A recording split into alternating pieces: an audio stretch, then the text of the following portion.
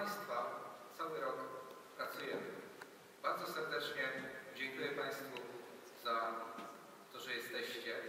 Dziękuję naszym przyjaciołom, parlamentarzystom, przedstawicielom instytucji wojewódzkich, ale także chciałbym w tym miejscu podziękować moim współpracownikom z Zarządu Powiatu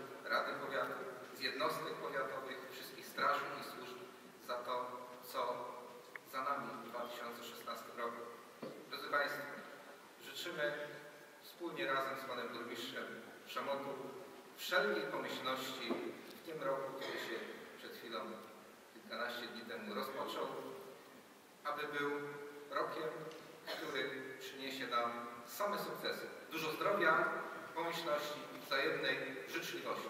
Wszystkiego dobrego.